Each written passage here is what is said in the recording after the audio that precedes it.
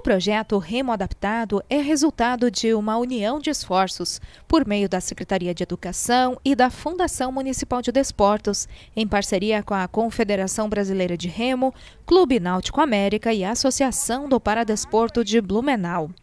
A cidade foi escolhida pela Confederação para ser o piloto de um projeto de formação paralímpica. A gente é, fica muito honrado e muito feliz em sermos o primeiro município né, que a Confederação Brasileira é, de Remo entrou em contato, escolheu Blumenau para colocar o projeto piloto né, que é um projeto que quer levar sim atletas a Tóquio. Claro, é uma longa jornada até lá, uma longa caminhada, é uma dedicação diária, é uma evolução diária. Só que a gente tem, enquanto blumenauense, não só o Paradesporto, cada cidadão, a gente tem que ficar muito feliz. O Brasil é tão grande, o Brasil é tão imenso e eles procurarem na internet conhecer o Paradesporto de Blumenau e falar, não, é aqui que a gente vai colocar o projeto piloto pela primeira vez e dar toda essa estrutura, né? Por meio da parceria, a Confederação forneceu equipamentos para os treinos, como o barco completo.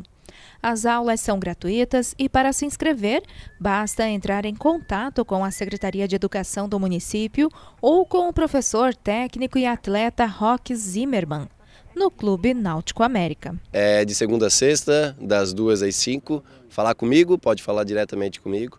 E é gratuito, tá? Não paga nada. O objetivo é oportunizar a participação de futuros talentos no esporte do remo, como Bruna, Cristina e Patrick. Bruna, por exemplo, já treina há dois meses. E agora as aulas serão mais intensas, pois está treinando para campeonato. Já pensamos em competição. É, é, tem o brasileiro na segunda semana de dezembro e nós estamos treinando para chegar lá e fazer um bom resultado. Então é todos os dias já com foco aí em competição? Sim, todos os dias, segunda a sexta, é, duas horas por dia, né? E estamos com esse foco aí para dezembro. Ela enfatiza o quanto o esporte trouxe benefícios para a sua vida e indica para todos. Super indico. É muito bom mesmo você sair daqui é, cheio de energia, né? Disposto e querendo voltar para o próximo treino. E tem futuros para atletas já com expectativas para as aulas agora só olhando, mas logo o Patrick estará lá treinando também. Ele já fez sua inscrição. A gente acompanhou a, é, essa oportunidade né, que o governo de Blumenau está proporcionando a todos que têm a deficiência física e, e a gente está começando a, a, a entrar agora também aí nessa turma do pessoal do Remo e espero que conseguimos ter um, um futuro promissor aí. De longe, aquele barco lá no meio do rio. Parece fácil, mas tem todo um cuidado e treinamento em terra para depois entrar na água. Primeiro a gente faz uma, uma análise, ver o que, como é que é essa deficiência da pessoa, como é que ela é a mobilidade dela, né? É, se ela sabe nadar também, que é uma exigência que a gente, a gente tem.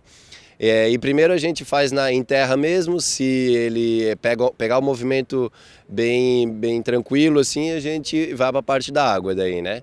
Então a gente tem dois barcos para o para-remo, então a gente tem que conciliar também os barcos com as pessoas que estão aqui remando. Mas é isso é tranquilo, a gente é, sempre faz um circuito, quem está remando faz um exercício na, na terra, quem está na terra vai, vai, vai remando, então a gente vai vai rodando, né, para cada vez mais gente participar do, do Par de Esporto. Para dar exemplo e também experimentar a sensação de liberdade que o esporte proporciona, a professora Gisele aproveitou a oportunidade. E pela primeira vez praticou essa modalidade. Foi difícil, né?